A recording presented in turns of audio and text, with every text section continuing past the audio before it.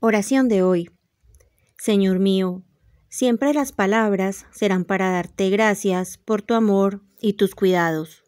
Gracias por tu brazo amoroso cuando me hicieron falta las fuerzas.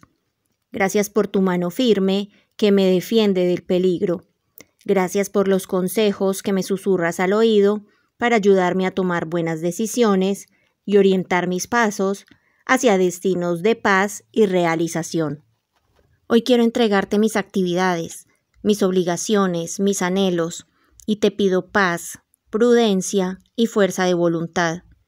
Por favor, ayúdame a enriquecer mi vida espiritual, a obrar según lo que tú esperas de mí, a concentrarme en alcanzar mis objetivos, pero al mismo tiempo a tener una mano lista para ayudar a quien lo necesite.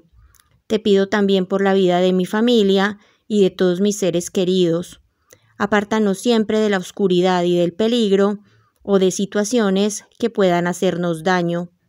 Danos tu bendición, concédenos salud y haz que tu luz resplandezca en cada uno de nosotros y nos ayude a vivir en serenidad y confianza.